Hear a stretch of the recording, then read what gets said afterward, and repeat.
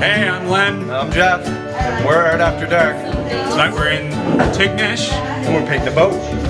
Yeah, we are.